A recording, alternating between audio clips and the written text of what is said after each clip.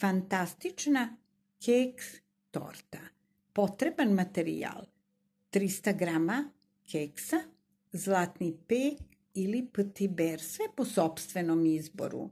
Za fil prvi potrebno je pola litre mleka, dva pudinga od vanile, 10 kašika šećera, 100 ml slatke pavlake, 200 g margarina.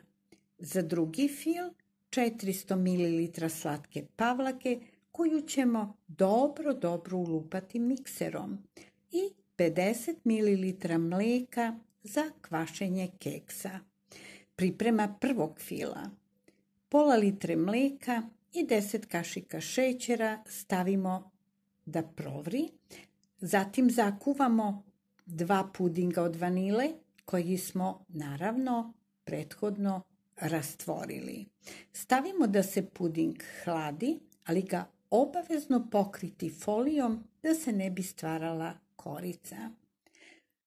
Ulupamo 200 g margarina i posebno ulupamo 100 ml slatke pavlake.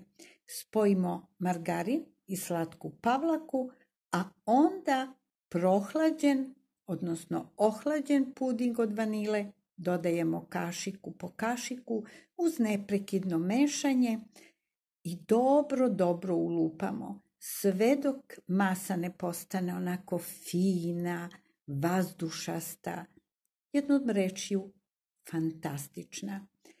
Naravno, ulupamo i 400 ml slatke pavlake i pristupimo filovanju. Pripremimo tacnu, poređamo 150 g keksa koji smo prethodno provukli kroz mleko da se malo pokvasi.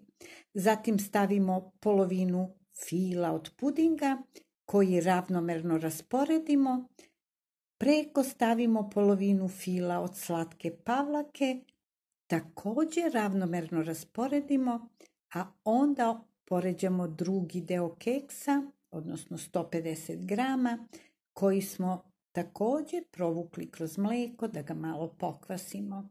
Preko keksa ide druga polovina fila od pudinga koji ravnomerno rasporedimo, preko stavimo drugu polovinu fila od slatke pavlake, ravnomerno rasporedimo, tortu ukrasimo ili perlicama ili rendanom čokoladom, sve po želji i ukusu.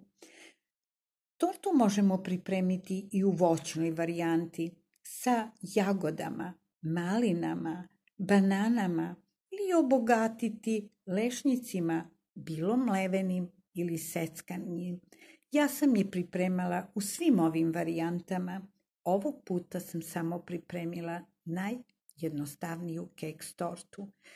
Naravno, ostavimo da se hladi. Vrlo je ukusna, sočna, fenomenalna. Verujte da podsjeća na sladoled kad se onako dobro, dobro ohladi. Hvala što me pratite.